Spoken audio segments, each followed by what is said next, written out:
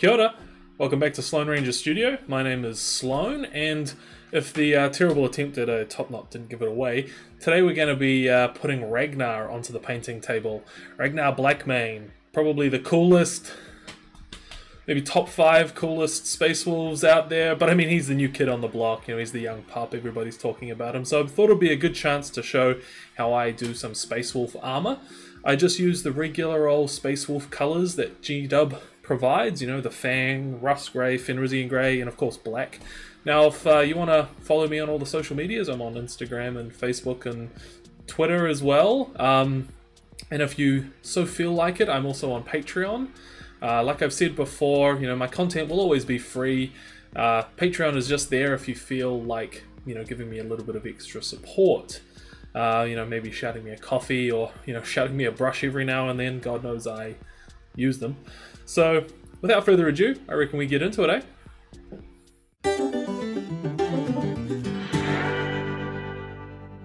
Alright, so here's our Ragnar Blackmane, the new plastic miniature that uh, G-Dub gave us. It is an awesome sculpt. I mean, it's it's so extra. It's so over the top. And like, look at the point on that cloak.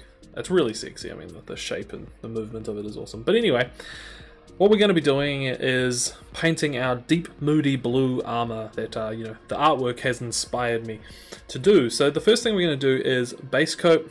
Well, we've already got a black undercoat, but first thing we want to do is base coat all of the armor areas in black. So I'm just using Abaddon black, but any old black will do. It's just going to be the kind of foundation going forward, and I just want a nice, consistent black for the uh, the upcoming blends that we're going to be doing. So, you know, all of these armor panels, I don't know what color they're going to be yet. Maybe his knee pads will be a different color, but all I'm going to do is just all of these areas I think are going to be blue. Start by making them black. So go around and do that all across Ragnar. Alright, so there is the uh, black black coat done. Super interesting. It's looking amazing. Sign it in. He's now a Raven Guard. Anyway, next step is to go 50-50 with the Fang and the black that we were just using. So the Fang is, um, you know, this kind of deep, dark, desaturated blue. Got a bit of grey in it, you know, that kind of thing. Um, but, uh, you know, if you're not using the Citadel colors, yeah, just look for a grayish blue, kind of like a cold grey or a cold blue, something like that. Anyway, we've got our 50-50 black and the Fang. We've thinned it down quite a bit. And if you've seen me do, you know, non-metallic metal or any of that kind of that kind of thing on this channel before, you'll know what I'm about to do here. I'm just going to pick out some places where I want my light sources to be, like on this knee here. And I'm just pushing, pushing this dark blue to where I want that light to be most concentrated and, you know, down the side of his leg here. Yeah, just push, push the paint into that there. Up there, you know, maybe along the top of this boot here. Just push it in.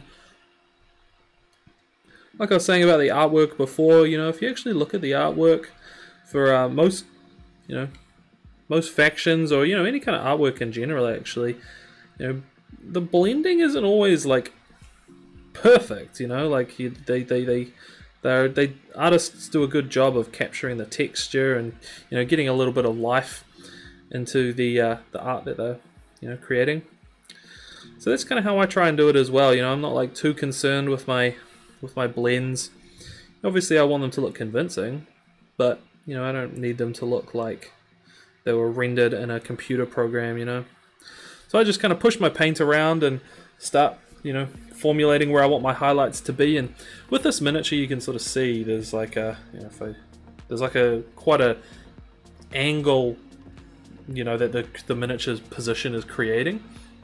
And so I want my highlights to kind of you know emphasize that. So you know maybe a streak of light running down through this angle of his chest and through this angle of his belly bit here and you know a nice prominent highlight along the edge of this leg here maybe along this leg too. And you know just trying to emphasize that movement with the light as well as um, you know going to look quite powerful. So you know work your way around and you know push this push this uh, first coat to where you want your highlights to begin. Um, and yeah, we'll come back for the next step. Alright, super hard to see, but we've gone and added in that 50-50 mix of the Fang and Black. Next thing we're going to do is go to just the Fang on its own. So I've thinned it down quite a bit, you know, we want these layers to be, uh, you know, a little bit transparent so they can react with what's underneath. Kind of helps with the, uh, the blending. So, same thing. Start with this knee again, I'm just to very loosely just kind of push push this fang into this area here and you know down towards this angle of the leg here. Do a couple little squiggles push some paint into here. We're going to be tidying up later you know in terms of our uh, panel panel lines you know those little little gaps between panels and you know, we'll be glazing in some black a little bit later to tidy some things up but you know where you uh, had started to add in your highlight color start to layer up the fang in this step. You know, taking up a little bit less surface area with each one. Staying, you know, staying messy-ish. You know, we don't want to be getting paint all over things that we're not not intending to paint blue and make it more difficult later, but, you know, we're not... I'm not being super precise at this point, you know, I kind of like keeping it nice and free. So yeah, work your way around and layer up that fang. Alright, so I've gone and added in a couple of coats of the fang there, nice and thin. I was just thinking I'd show, you know, in case you are wanting to go back and, you know, remedy any of these blends, you know, they they do they weren't quite to your fa to your liking. We all I do anyway is take a thin bit of uh, black and just kind of go over the over the transition areas that you know weren't to your liking. You know, take off any you don't want too much on your brush here.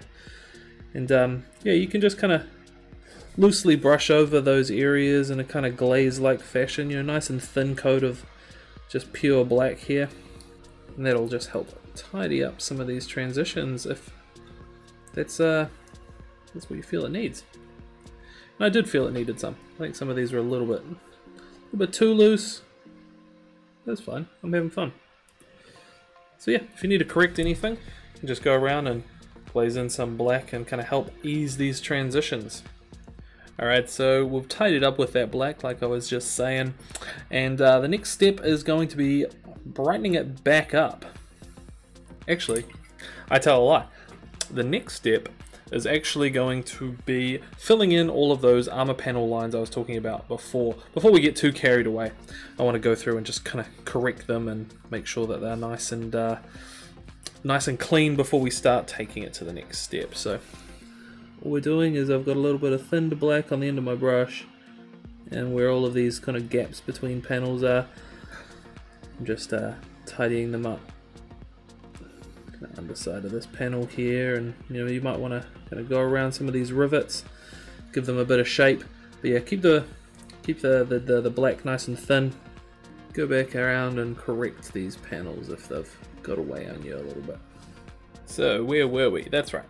So the next step we're going to be doing is a 50-50 of the Fang and uh, Russ Grey, which is like the next step up in those Citadel Space Wolf colors. So I've just made a 50-50 mix, keeping it nice and thin. And same thing, we're just kind of pushing, pushing this paint up towards our kind of brightest areas and, you know, give it a little bit of a feather and keep our keep our transitions smooth enough that it looks convincing but like I was saying before I'm not that concerned with uh, you know trying to create the the smoothest of blends you know. I'm not trying to create an imp cat. You know I'm I'm painting I'm using a brush and I don't really mind that you can see that. And if you ever need to kind of blend it do what we did with the black before and just kind of go down a step and you might need to just you know glaze over some fang to the uh, the transition to kind of help help the two but kind of work your way around and start brightening up that blue to the the 50-50 of Russ and the fang you can start to see that uh, that light coming through there nicely alright so we've gone and added that thin coat of the 50-50 mix between uh, the Fang and Russ. And uh, as you probably guessed, the next step is just going to be Russ on its own. And so, you know, I like this staggered approach where you kind of mix in the previous color with the new color. Helps make the uh, the blends believable, makes them you know easy to do as well, which is which is nice. You know, like the the colors being staggered like this, it just kind of makes every layer that much easier. But again, same thing. So not too much on your brush. I've just got uh, what's it called, Russ. Russ on my brush now, just on its own, pushing it in take off any excess and uh, then feather it with that brush and uh, yeah kind of make your way around doing this sort of thing all over you know we're kind of getting getting towards the end of our end of our process here with this blue getting that moody moody blue across so yeah go around and add that all over. So I just record some of these some of these glaze steps so you sort of get an idea what I'm doing with this paint. So it's nice and thin and I'm just doing little little squiggles and then I lick my brush, take off any excess paint and I just I just give it a rough little feather. Just along the edges of edges of that, that fresh paint. Yeah. Pick out some edges here and there mainly I'm just being nice and loose and every every step of this process that I'm I'm loose it all kind of adds together and creates this really nice sort of textured blend which is um, which is kind of what kind of what I'm after. You know it's the sort of thing I was talking about with the artwork being what inspires me to do this. You know and those those amazing digital and you know actual, you know, physical physical brush artists, um, you know, working on canvas or whatever it happens to be. You know, they're they're they're working with texture, they're working with, you know, actual shapes and and I think it looks really cool. And so I'm trying to just sort of emulate that with this with this process of just kind of like loose loosely adding in thinned thin layers every every uh, every pass it kind of just builds up to this nice, nice effect that looks quite, uh, quite real. You know, it's not, not something produced by a computer. It's produced by a paintbrush. But yeah, you can sort of see what I see what I mean as I build up this lighter blue. It's not perfect by any means. You know, you can see brush marks and strokes and little little blotches and bits like that, but I think it adds up to something really nice. So anyway, go around and add that uh, Russ Grey all over. Alright, so there's that coat of uh, Russ on its own. Next step is to mix in a little bit of Russ grey on its own. Uh, sorry, so mix a, a little bit of Fenrisian grey with the Russ grey. Nothing on its own, we're mixing. Anyway, so 50-50 of that, thin it down.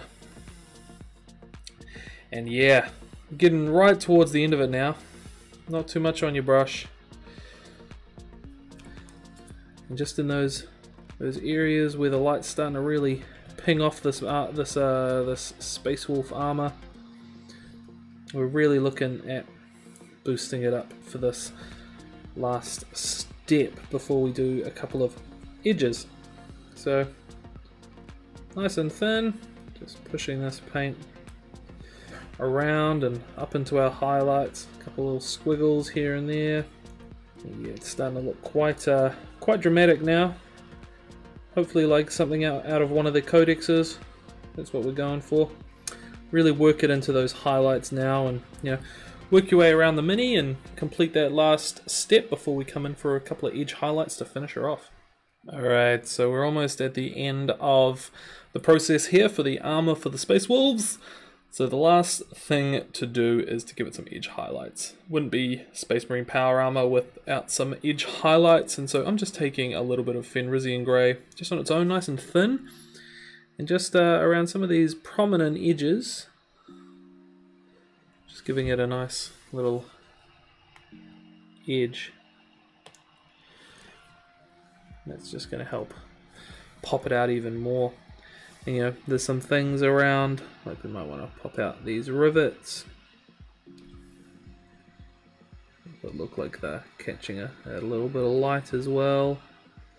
And they just add a nice little bit of character to the armor. You know, the rivets. And, uh, you know, sort of be careful around some of these, you know, uh, vents and stuff. You know, they can be a tricky edge to catch, but just do your best. Thinning your paint a little bit helps. And I don't personally like highlighting every single edge on the armor. I only like to highlight the ones that are facing upwards, you know, the ones that are going to catch the light. So I don't bother going around both sides of these little vents. Um, but I do, you know, like to catch these sort of bits of the panel here. These edges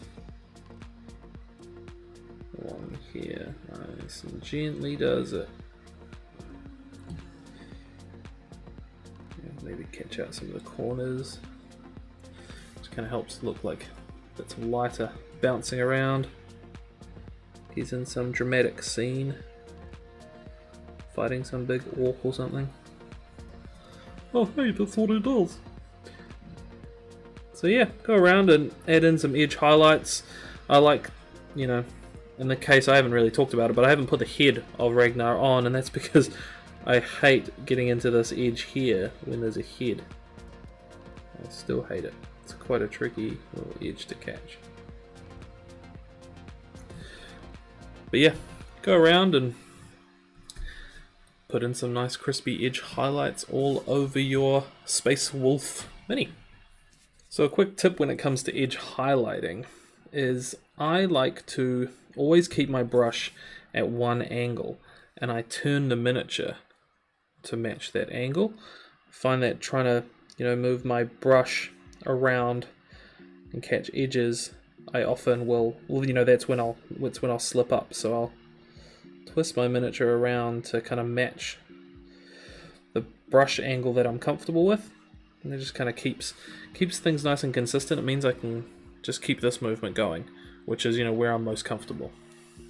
And of course, I like to keep my my paint thin and you definitely need to take the excess off when it comes to edge highlighting. That's when you get like big blobs.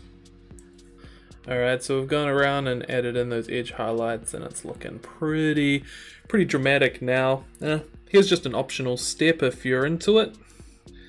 What I'm going to do is I'm just going to add some tiny little dinks and chinks.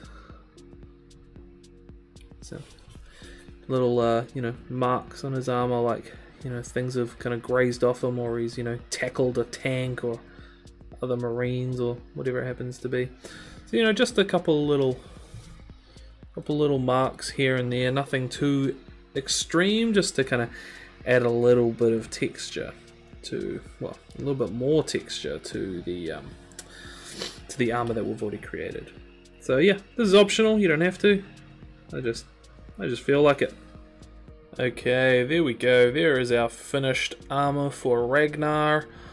You know, you can use it for any old Space Wolf. I'm pretty happy with how that turned out. You know, like I was talking about, you know, it's got that it's got that texture like it was done with a brush. You know, it's got that life in the brushwork, which is, you know, I'm, I'm really passionate about keeping that in my work.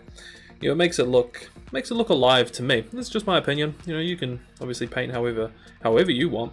This is just how I do it, and you know, I'm just showing you how I do it. How I do. This is how I do. Uh, anyway, I'm happy with how he came out. There were a couple of bits that uh, weren't as nice as I wanted, but I think overall we got what we were talking about with that angle of the highlights. I think there's a lot of drama and the lighting going on on this guy.